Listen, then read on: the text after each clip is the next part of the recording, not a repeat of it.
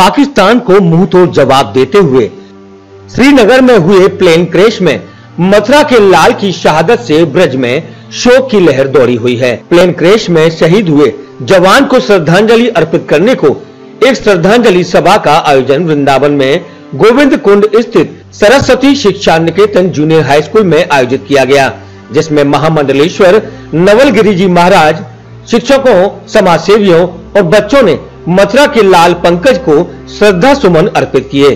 शहीद पंकज के चित्रपट पर पुष्प अर्पित कर वक्ताओं ने उन्हें नमन कर श्रद्धांजलि दी। इसके साथ ही भारतीय सेना द्वारा पाकिस्तान में घुसकर कार्यवाही की सराहना करते हुए मोदी सरकार को समर्थन की बात कही।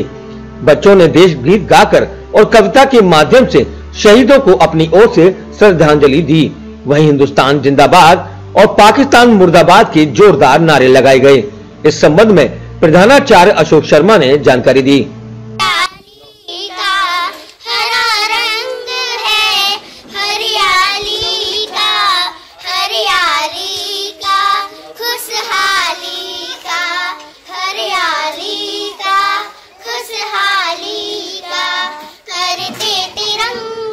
को हम सब नमन। Saraswati Shiksha Niketan junior high school Govind Kund में गोविंद कुंड पर जो हमारे मथुरा के विक कमांडर पंकज जी, ये शहीद हुए हैं। उनके लिए है कि यहाँ पे एक श्रद्धांजलि समारोह का प्रोग्राम रखा गया है, जिसमें महामंडलेश्वर जी और सभी हमारे भाई बंधु यहाँ उपस्थित हुए आज सभी बच्चों ने यहाँ देश की सुनाए और सभी है कि पाकिस्तान से बदला लेने के लिए बच्चे है कि सब उत्साहित हैं और हम सब तन मन धन से, मैं सरकार के साथ हैं। हम सरकार के तन मन धन से साथ हैं, हर तरह से सरकार जैसे हमसे सहयोग चाहेगी।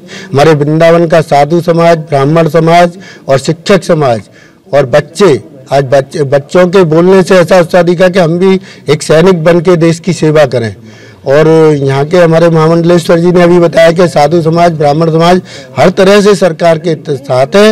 मोदी जी से हमारा बार बार प्रधानमंत्री जी से यही कहना है कि पाकिस्तान को इस समय मुँह तोड़ दबाव दिया जाए। अभी नहीं दिया गया तो फिर कभी नहीं दिया जाएगा अभी